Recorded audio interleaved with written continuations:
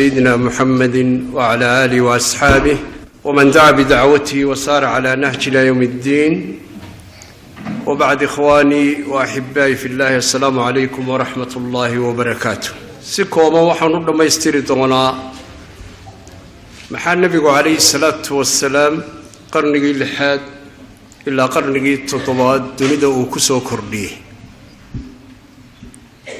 iyadoo meelaha qaarkood aynu barbar dhigi doonno dhibaatooyinka ugu waaweyn ee maanta muslimiintu ay ka cabanayaan. Rasuulku calayhi salaatu wasalaam waxa uu dunida ku soo kordhiyey inuu yahay mid ka mida asxaabtiisa oo aan ka dhex socnayn. Walidaalik a'immada muslimiintii marka ay ka warramayaan alimaam adabari fi kitaabihi taariikhu alumami walmuluuk.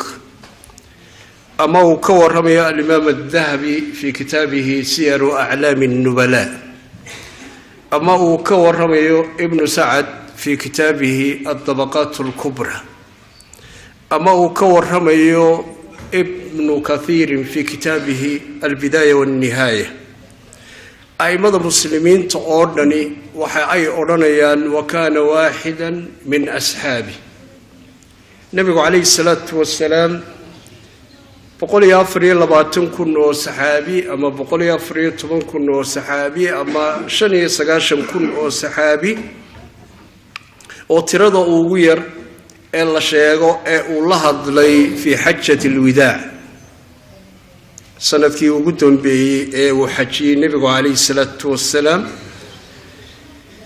ee uu yidhi khuduu cannii manaasikakum lacalli laa alqaakum bacda caami haada. War maanta waxa iga qaadataan waxa weeye sunnayaasha wanaagsan ee aan idin tilmaamayo waayo waxaa laga yaabaa inaydaan ila kulmin sanadka dambe ayuu yihi rasuulku calayhi salaatu wasalaam idan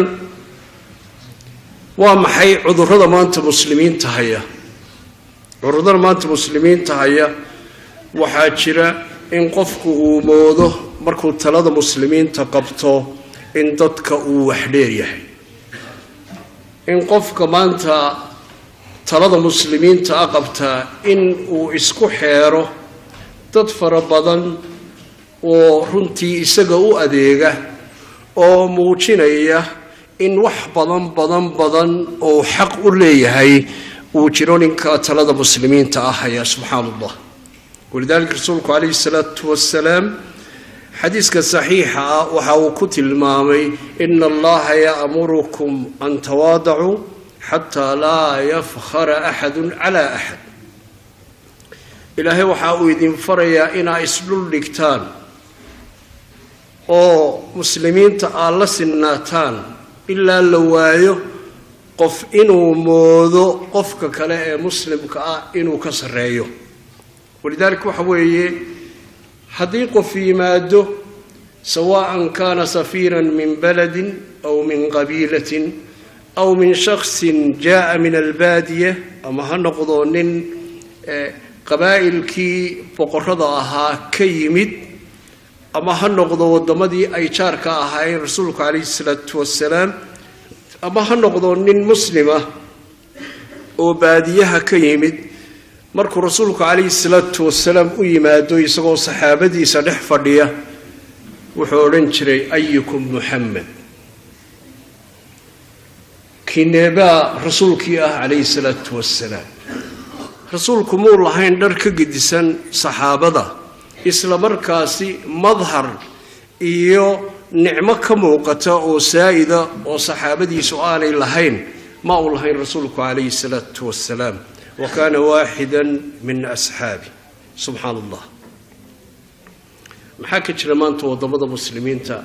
Ruba ashcasa aqbara madfuuca aladwaabi low aqsama cala allahi la abarah alla fara badanaa mid basaasan oo boodhaysan low aqsama cala allahi madfuuca alabwaabi oo meelaha muslimiinta looga taliyo iyo kuwa muslimiinta yidhaahdo waanu u talinaa ay wax badan ciidamo isku xeereen laga riixo low aqsama cala allahi la abarah hadduu kaasi ilaahay ku dhaarto oo uu ilaahay gacmaha kor u taago la abarahu ilaahay subxaanahu wa tacaala ayaa u fulin lahaa qofka muslimka. Idan rasuulku calayhi salaatu wasalaam wuxuu dunida ku soo kordhiyey annaasu sawaasiya ka asnaani lmisht laa farqa bayna carabiyin wacajamiy walaa farqa bayna ghaniyin wafaqiirin walaa farqa bayna caalimin wagayri caalimin ilaa bitaqwa rasuulku calayhi salaatu wasalaam waxa uu soo kordhiyey inaanay farqi kale lahayn qof midabkiisu cad yahay iyo mid midabkiisu uu gaduud yahay iyo mid midabkiisu uu madow yahay aanay farqi kale lahayn. Annaasu sawaasiya ka asnaani lmisht dadku waa siman yihiin ilaahay hortiisa sida ilkaha gadhfeedhu ay u siman yihiin subxaana allah walidaalika rasuulku calayhi salaatu wasalaam waxa uu keenay ummatan waaxida in muslimiintu ay yihiin ummad keliya oo xuquuq wada leh. Idan waxyaalaha la yaab kale waxaa ka mida yaa ka mid ahaa saxaabada waxaa ka mid ahaa hogaanka sare saxaabada bilaal binu rabaax alxabashi oo ahaa nin timihiisa marka aada eegto aada moodaysay duksiyey inay madaxiisa dul fadhiyaan. Waxaa ka mid ahaa khabaab ibnu lard waxaa ka mid ahaa suhayb binu sinaan alruumi waxaa ka mid ahaa salmaan alfarasi wa huwa kana min alfurs. Walidaalika waxa weye nebigu calayhi salaatu wasalaam ummad buu hogaamiyey. Nooc walba leh oo ku kulma kalimatu laa ilaaha ila allah muxamadun rasuulu llah idan waxaa xusid mudan oo in la tilmaamo ay tahay rasuulku kaana basharan wa kaana yafrax wa kaana yabki wa kaana yuxib rasuulku bashar buu ahaa wax jeclaada wuxuu ahaa mid ooya wuxuu ahaa mid murugooda wuxuu ahaa mid la qaybsada saxaabadiisa nolosha walaysa kaa'inan malakiyan rasuulu llahi sala allahu calayh wasalam rasuulku malag muu ahayn calayhi salaatu wasalaam idan saxaabadiisa dareenka waa la wadaagi jiray rasuulku calayhi salaatu wasalaam maxaa tusaale aynuu soo qaadanayna xadiiska saxiixa ah ee subxaan allah nin uu soo galay rasuulku calayhi salaatu wasalaam ee uu yihi yaa rasuul allah nin waxaan ahay martiya nin muslimaan ahay meel aan galo iyo waxaan cuno caawa ma haysto. Maxay noqonaysaa jawaabta rasuulku calayhi salaatu wasalaam marka qof muslimi uu yidhaahdo yaa rasuul allah waxaan ahay qof baahan baan ahay ma wuxuu odhan jiray accountkii noocaasa ha laga saaro. Ma wuxuu odhan jiray hantida muslimiinta ee gaarkan awoodda u leeyahay ha laga bilaabo buu odhan jiray rasuulku calayhi salaatu wasalaam muxuu rasuulku ku jawaabi jiray marka xadas noocaasi yimaado oo ka mida saxaabadiisa. Idhab ayuha arajul wa idhab ilaa ahli beyti waqul lahum hunaaka imra'un muslimun min almuslimiina wahuwa muxtaaj saxaabi meesha fadhiyo odhan jira waar istaagoo gabadhayda u tag waxaad ku tidhaahdaa nin muslim oo baahanba masaajidka noo fadhiya. Marka guryaha rasuulku calayhi salaatu wasalaam masaajidkay ku wada xeernaayeen dhammaantood. Saxaabiga waa soo noqonayaa wuxuu yidhi yaa rasuul allah gabadhaadii heblaaye ahayd waxa ay tidhi waaladii bacasaka fi lxaqi yaa rasuula allah maa cindii ila almaa ilaahay xaqa kugu soo saaray baan nebi allow ku dhaaranayaa ee gurigayga biyo waxaan ahayni ma yaallaan subxaana allah rasuulku calayhi salaatu wasalaam ma uu joojin mar labaad waxa uu yidhi haddana soco oo heblaaye u tag. Iyaduna sidii si leeg ayay ugu soo jawaabtay rasuulku calayhi salaatu wasalaam guryihii rasuulka oo dhan markii la soo dhammeeyey ee gabadh waliba ay sidaa ku jawaabtay ayaa nebigu calayhi salaatu wasalaam wuxuu yidhi war waana arkaysaan guryaha iyagii biyo madow mooyaane wax kale ma yaallo. Man yudiifu hada almuslim qofka muslimka ah yaa caawa naga qaadaya buu yihi rasuulku calayhi salaatu wasalaam idan muxuu soo kordhiyey rasuulku calayhi salaatu wasalaam islaamkama waxaa loogu talagalay koox gaara islaamkama waxaa loogu talagalay iyo hogaanka muslimiinta tujaarta in la badbaadiyo oo ay noqdaan kuwa dalka iyo dhulka iyo ummadda leh. Ma waxaa loogu talagalay koox magacyo leh oo runtii iyagu laafitaadkay doonaan ha samaystaane kooxdaasi inay noqoto kooxda keliya noolaata islaamka gudihiisa. Islaamkuma wuxuu taargetgareeyaa in ay ummadda ka socnaato qabiil ama koox ama cid is urursatay oo wax isku og. Laa walidaalika nabigu calayhi salaatu wasalaam kaana waaxidan min asxaabi wuxuu ahaa mid la mid ah saxaabadiisa. Waxaana taa tilmaamaysa oo aynu ku caddaynaynaa wareeggaa dheer ee ka soo wareegtay dhalashadii rasuulka calayhi salaatu wasalaam biqadi nadar can altanabu'aat wa can alsiyaadaat wa can alnuqsaanaat anigoo aan wakhti badan siinayn inaan ku meeraysto ama aan wakhti badan idinkaga lumiyo khilaafaad soke oo u baahan in si xikmad iyo caqli iyo diin iyo aragti dheer in lagu daweeya ay tahay laakiin waxaan doonayaa inaan lubbul mawduuc muxuu soo kordhiyey nebigu calayhi salaatu wasalaam ee ina khuseeya ee ay tahay inaynu kaga dayanno rasuulka calayhi salaatu wasalaam ee ummaddeenna iyo muslimiinta oo dhan nabadgelinaysa walidaalika rasuulku calayhi salaatu wasalaam saxaabi baa kacay. Wuu yidhi yaa rasuulallah ninkaasi aniga ayaa maanta kaaga filan. Qisadaasi waa qiso bukhaariyo muslim ay wariyeen aada u dheer laakiin muhimaddu waxa ay tahay ninka muslimka ah saxaabigu waa kii kaxeeyey gurigiisii buu geeyey gabadhiisii buu la hadlay wuxuu uhi ninka rasuulka ay soo raaciyey maxaad raashin inoo haysa? Waxay tilmaamaysaa bulshadii uu abuuray rasuulku calayhi salaatu wasalaam ee uu ka dhigay inay hogaamiyaan ummadda noocay ahayd ee uu soo saaray rasuulku calayhi salaatu wasalaam muu ahayn abubakar muu ahayn cusmaan binu cafaan muu ahayn dalxa binu cubaydallah muu ahayn saciid binu sayd muu ahayn cabdiraxmaan binu cawf muu ahayn abu darda muu ahayn cubaada binu saamit muu ahayn sacad binu macaad muu ahayn usayd binu xudayr marka la eego saxaabadii ansaarta iyo muhaajiriinta raggii waaweynaa midna muu ahayn. Laakiin wuxuu ka mid ahaa qaacidadii ballaadhnayd ee toosnayd ee rasuulku calayhi salaatu wasalaam uu barbaariyey si ay diinta u xambaaraan. Gurigiisii markuu tegey gabadhiisii wuxuu ku yihi maxaad haysaa? Waxay tidhi wax caawa aynu cunno ayaan hayaa. Wuxuu hi waxaasoo dhan waxaa ka weyn martida rasuulka calayhi salaatu wasalaam jacaylkaasuu ah subxaan allah garanayey rasuulku wuxuu dadka ugu yeedhayay wuxuu yidhi carruurta inaga seexi markay seexdaan waxaad hayso dheriga inoogu shub. Sidii bay yeeshay markii hore dee dherigii bay saartay carruurtii baa mooday in wax la karinayo. In badan bay carruurtii qaylisay way gataati dhaceen way seexdeen. Iminka ku shub buu yidhi waxaad hayso sidii bay ugu shubtay subxaan allah markii ay bislaatay ayuu yihi ka soo rid markii laga soo riday halkan la soo dhigay ayaa wuxuu ku yidhi marka aada horteeda dhigto iftiinka meesha yaalla bakti sidii bay samaysay iftiinkii baa la baktiyey faqaala ibda biismi illaahi subxaanahu wa tacala ninkii muslimkaa buu yihi haddaba bisinka u qabo. Ninka muslimkii ma arkayo in walaalkii wax cunayo leannu meeshu way madowda. Nin gaajoonayuu ahaa ninkaa qayliyey buu ahaa. Ee rasuulka calayhi salaatu wasalaam la hadlay.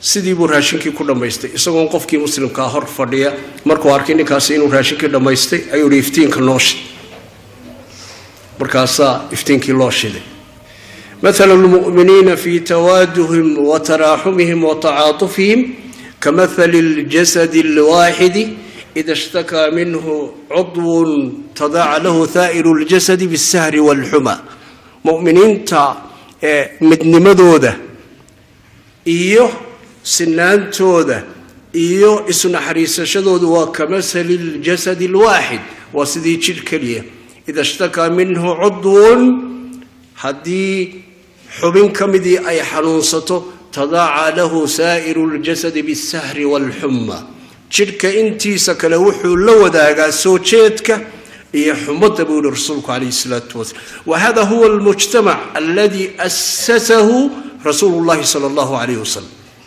mujtamacuu rasuulku sameeyey ee aynu ku xusuusanayno taariikhda rasuulkuna kuwaasuu ah halka maanta muslimiinta maxaa ka jira?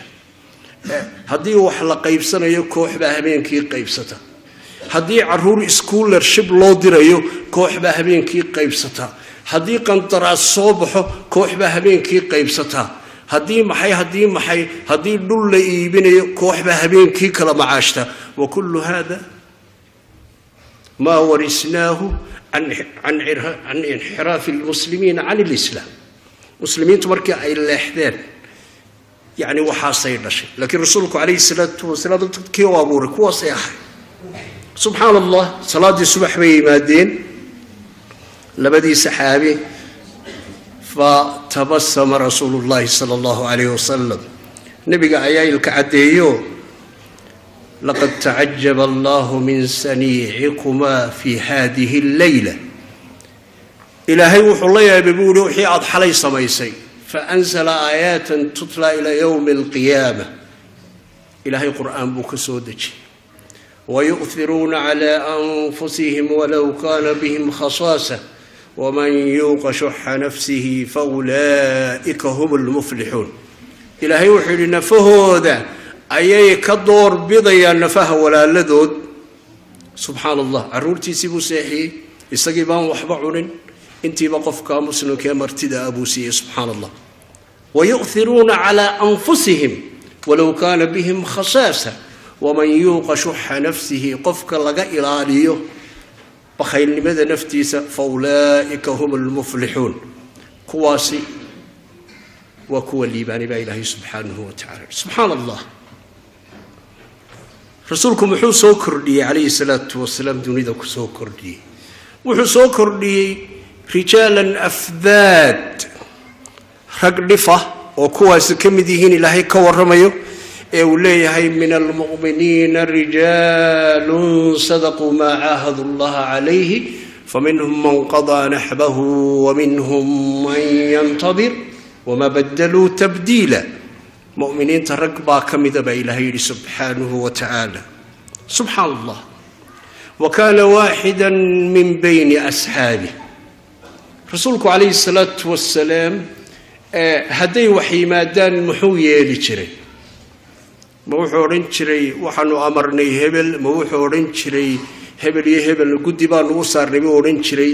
Ma nebigu calayhi salaatu wasalaam afraad uu yaqaano oo hor cararto oo iyagu ma garatay bixiyo safaqaad ama laafitaad baraaqa oo waxay qabanayaan aanay jirin ayuu diri jiray haddii nebiga calayhi salaatu wasalaam ay wax yimaadaan laa kaana fi safi alwali min aljihaad وكان في السف الأول من الصلاة وكان في السف الأول من حلقات العلم وكان في السف الأول من الإغاثة waxaynu u ducaynaynaa maanta xaaji cabdikariin xuseen oo ka mid ahaa aabbihii nabadda ee somalilan oo allahuma salli calaa sayidina maxamed maalmahan xanuunsanayay in ilaahay caafimaad siiyo xusnul khaatimo khayr badanna ilaahay subxaanahu watacaala cimrigiisa khayrka badnaaye badnaaye uu siiyey ilaahay ugu khatimo maca kulla haada waxaan doonaya inaan laba saddex nuqdadood anigoo aan inagu dheeraynayn inaan tilmaamo rasuulku calayhi salaatu wasalaam jiilkii uu soo saaray ee ilaahay qur'aanka ku sheegay waasaabiquuna alwaluuna min almuhaajiriina waalansaari waladiina ittabacuuhum biixsaan radia allahu canhum waraduu canh waacadda lahum janaatin tajrii taxtaha alanhaaru khaalidiina fiiha abada. Dalika alfawz alcadiim ilaaha yidhi subxaanah kuwa ilaahay ka warramay ee ilaahay qur'aanka ku sheegay kuwii iimaanka u hormaray ee muhaajiriinta iyo ansaarta ka mida ayaa ilaahay iyo kuwii wanaagga ku raacay.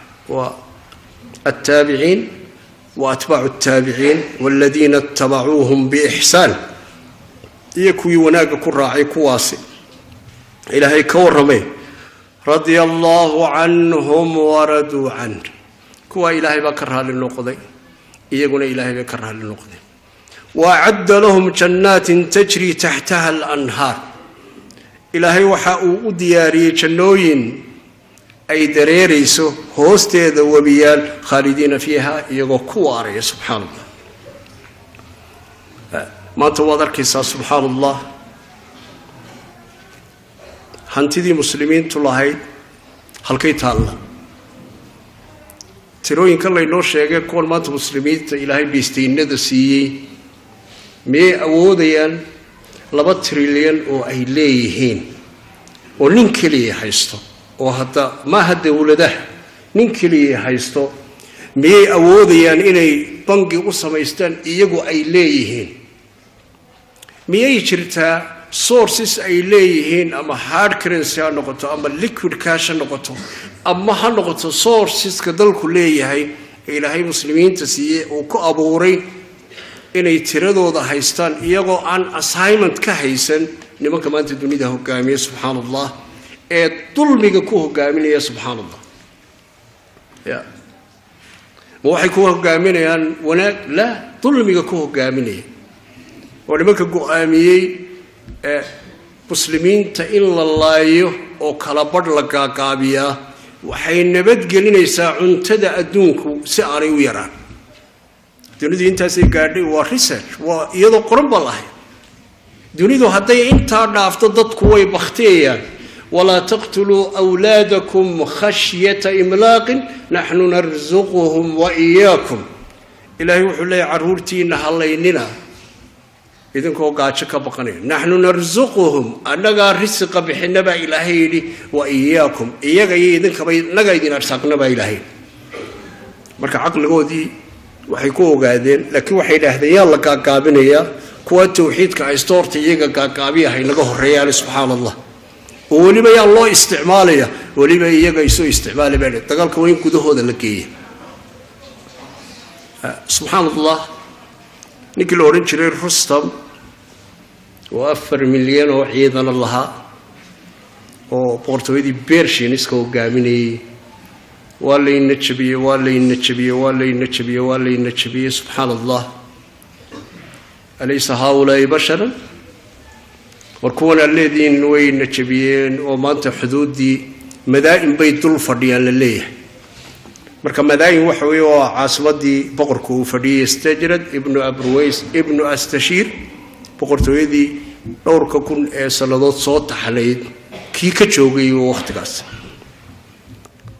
marka rustam oo subxaan allah dadkani waxay yihiin ogow. Maxay yihiin dadkani waa maxay hubka ay haystaan waa maxay tababarka ay qabaan? Waa maxay waxa ay kaga sarreeyaan ciidanka intaasoo kunoo sannadood boqortooyadooda? Abtirsanay subxaan allah ujeeddada aan ka leeyahay dhacdooyinkaasi waxa weeye rasuulku muxuu soo kordhiyey. Rasuulku jiil buu abuuray dunida badbaadiyey oo kuwa aynu ka warramaynay dunida ka yaabiyey ah sacad binu waqaas buu warqad u qoray radia allahu canhu wuxuu ihi waxaad ii soo dirtaa wafdi ka mida ciidankaaga khaaska ah. Rustam sariirta uu wato ee uu ciidanka ku hogaaminayo lixdan nin oo fardahooda dahab iyo xariir ay ku xardhan tahay oo laafitaad iyo bixinaya subxaana allah calaamado ay ku muujinayaan inay hogaankii sare yihiin. Nin faras yar wata oo laakiin hubkiisu u dhan yahay oo gadh leh oo saddex go oo cadcad sita subxaana allah go-ii sare ee cumaamada ahaa iyo labadii mid hoose iyo mid sare ridaaun wa isaar oo intuba ay wada caddahay ayaa soo baxay. Waxaa taallo carbet loogu talagalay halka uu rustam fadhiyo. Markii uu soo gaadhay carbetkiibuu warankiisa ku taagay. Isagoo aan ka degin faraskii wuu ka goostay haddana halkii ka horraysay buu ku taagay warankii haddana wuu ka goostay halkii ka horraysay rustam hortiisa markuu taagan yahay buu warankii ku taagay. Isagoo faraskiisii saaran saxaabigaasi rubiciy ibnu caamir loo odhan jiray. Faqaala liturjubaanihi wa yusamaa bihi cabuudun qul lahu maada jaaa bikum. Wuxuu ku yidhi ninkii turjubaanka ah oo nin nasraani ahaa oo markaasi carab ahaa ayuu ku yidhi war ninkan la hadalo adaa afgaranaya waxaad ku tiraahdaa maxaa doonaysaan ku dheh ee idinkeeni ku dheh rubciyi binu caamir allahu ibtacaana linukhrija man shaءa min cibaadati اlcibaadi ila cibaadati اllahi waxdah ومن ضيق الدنيا إلى سعتها ومن جور الأديان إلى عدل الإسلام ومن قبل قبلناه ومن راد قاتلناه نكر شيء بويلو ilaahay wuxuu noo soo saaray inaanu dadka ka saarno addoommada ay addoomayso yihiin. Oonu addoonnimada ilaahay u soo saarno markiiba rustam wuu yaabay. Afar kunoo nin baa sariirtiisa qaada. Subxaan allah oo hadduu farta taagana taaga hadduu farta hoosu dhigana yacni sujuuda oo aan wax kala garanayno isaga uun dee ilaahay u haysta subxaana walciyaadu billah. Saxaabiga wuxu uhi waxaanu u nimid inay dadku addoonnimada ay cid addoommo u yihiin aanu ka saarno ilaahay inay addoommo u noqdaanoo keliya soo saarno wa min dayqi dunya ilaa asicatiha adduunyada cidhiidhigeeda inaanu ka saarno oonu cidhiidhiga islaam aanu cidhiidhiga yacni wa min dayqi dunya adduunyada cidhiidhigeeda aanu ka saarno ballaadhkeeda aanu u saarno. Ya subxaan allah ee hanti maxay tahay? Yacni boqolaal sannadood mid keliya intuu haysto one point five bilyanka muslimiintii ay ku noolaanayaan hantida haystaan ayaa warwaraya subxaan allah oo lagu gumaystaa lacagtooda. Wa min dayqi dunya ilaa sicatiha laysat alghinaa kasrat alcardi walakina alghinaa hina nafsi maaha yacni qaninimada iyo kaaftoonnimadu qofku baabuur badan buu leeyay guryo badan buu leeyay waxa muuqda ma aha walaakina alghinaa qina nafsi qaninimadu waa iimaanka iyo qalbiga ayuu yihi rasuulku calayhi isalaatu wasalaam wa min jawri ladyaani ilaa cadli islaam cadaaladla-aanta diimaha inaanu ka saarno anu cadaaladda islaamka u saarno. Waman qabila qabilnaahu man radda qaatalnah qofka sidaasee aqbalana waa si wanaagsan oo waa naga mid ka kalena waa la dagaalamaynaa buuri rusan baa yidhi waa bal iska noqoo subxaan allah bal mid kala hadlay soo diro wuxuus yidhi malaha wuu yaro qaldamay sacad bin waqas. Almuhim saddexdii ninbay isku nin buu la tashaday. Fiirasaan la odhan jiro ku-xigeenkiisa ahaa suu bal ka warran nimankii. De maxaan kaga warramaa buu yidhi ina yaroo kibaray oo dhar cadcad xidhan oo wax la kala macaashaya aan ogeyn subxaan allah oo nagu wuxuu doono nagu sameeyey oo jaahila ayaad adna halkan dhegaysanaysay markaasaad ma garatay nagu eegtay markaasaa maxaan kaga warramaa buu yidhi fiirasa rustam wuxuu ahaa nin aada u caqli badan wuxuu yidhi anigu sidaa umaan fahmin. Waxaan u fahmay buu yidhi ninkan inala hadlayay inuu yidhi waar waxaan iska daa aada dhigatay meesha. Anigu laba mid uun igama dhexayso. Inaan dhinto iyo inaan adiga kaa guulaysto labadaa waxba igama dhexeeya. Anigu ninkii xarakaadkiisa buu yidhi siduu u hadlayey waxaan u qaatay markii lay tarjumay inuu leeyahay waxaanaad meesha dhigatay agtayada waxba kama aha. Ee adduunye ah. Oo ficlan sidaasaanay ahay. Saxaabigii kale sidiisi leeg sidii yani waxaa loo keenay muqiira binu shucba u yimid. Subxaan allah isagana hadal badan bay isweydaartadeen suhre binu xayawa oo isagoo afaarasiga yaqaani baa yimid sidiisi leeg saddexdoodii markii ay ka noqodeen buu shir qabtay.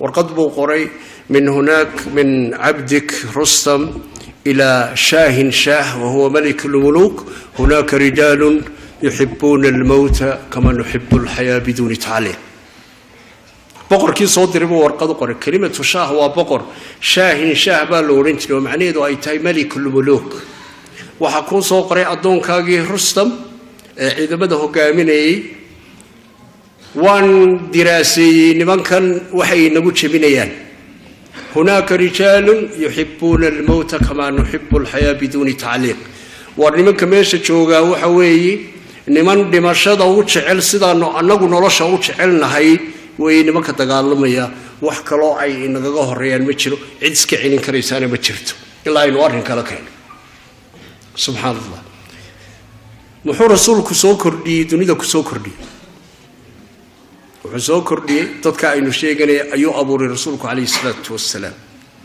qof aan adduunyo doonayn laakiin wanaag doonaya.